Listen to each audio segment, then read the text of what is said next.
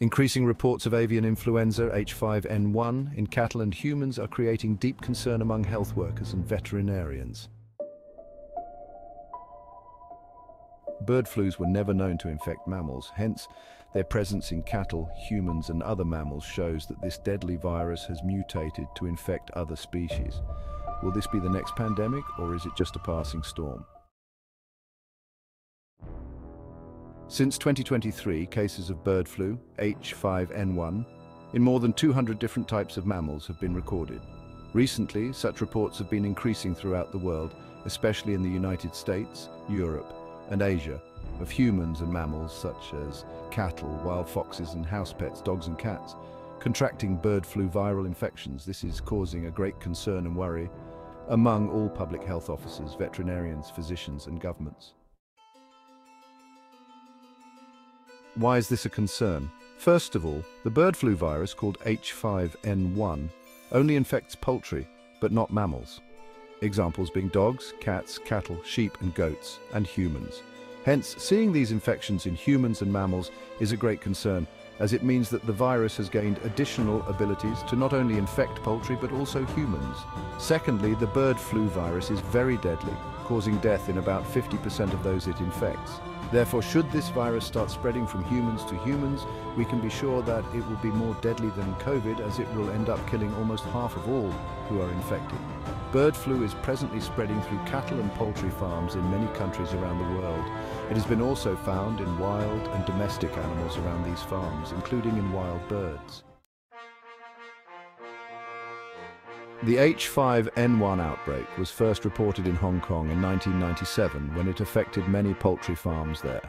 During this outbreak, the first human infections were also reported in Hong Kong. H5N1 spread from Hong Kong to the whole world, affecting poultry in almost all countries at different periods. Between 2013 and 2019, another bird flu outbreak in mainland China caused by H7N9 also occurred among poultry birds there and infected about 1,500 people, killing hundreds. Since 2014, reports of sporadic human infections from H5N6 and other avian influenza have been reported from China exclusively.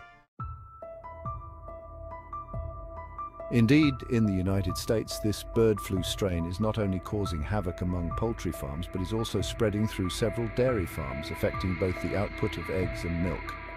In Texas, Idaho and New Mexico, several farmers are reporting that the virus is infecting their cattle, and cats around the farm have also caught the virus. A farm worker who was milking the cattle also caught the virus and was hospitalized. In that farm worker, the virus attacked the eyes, and when the virus's DNA was analyzed, it was found to be almost the same as that from the cattle, but with some mutations. Wild birds caught around the farms were also found to harbor the flu virus, raising concerns that the virus is being transmitted from these birds from state to state and farm to farm. There are also concerns that the virus can spread from cow to cow and humans to humans. A dairy worker in Texas and several other people in South America, Europe and Asia who were exposed to animals infected with bird flu have also been infected with the virus. The virus was also found in milk and meat from infected animals. The CDC just released a health alert to all clinicians, state health departments and the general public about this virus. As a result of this spreading infection, poultry prices have gone up in the USA.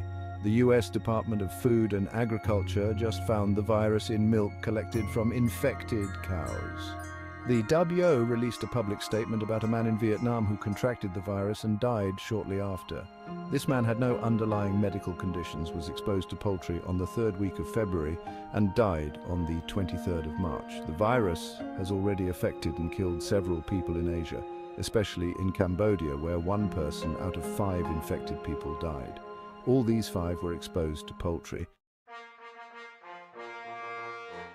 Many of you may remember the swine flu pandemic that swept through the world between 2009 and 2010 and killed an estimated 284,400 people worldwide. The swine flu is also a type of flu found in pigs, but can now affect humans. It is an influenza virus The bird flu is also an influenza virus that affects humans who have close contact with poultry birds. Already variations of the virus are being seen in Asia. There are concerns that these variations might lead to more deadly viruses that can attack and spread through humans from Hong Kong and mainland China. These bird flu viruses, just like the coronavirus, spread throughout the whole world. New variations or mutations of these viruses are being identified in ducks in Asia, raising concerns of more pathogenic and virulent mutants that can infect humans emerging.